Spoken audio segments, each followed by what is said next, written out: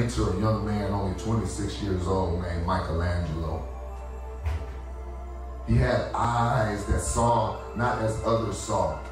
And so when he looked at this same block of marble, he didn't see the imperfections that repelled others. Instead, he saw David.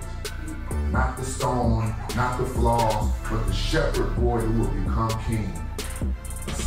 Strength and beauty. And Michelangelo is quoted as saying, I saw the angel in the marble and I carved until I set him free. And so he did. And it took him the next three years chipping away at what was to be revealed and what could be. So the first thing I want you to write in your whole pad is this.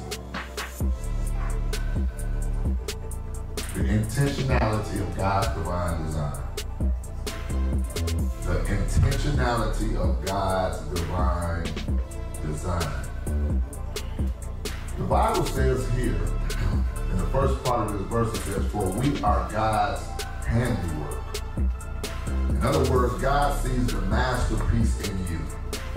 You see, God sees the masterpiece in us all. God sees beyond the immediate. He sees beyond the flaws and imperfections. God sees the potential that lies within. He sees all of the reasons he created us for.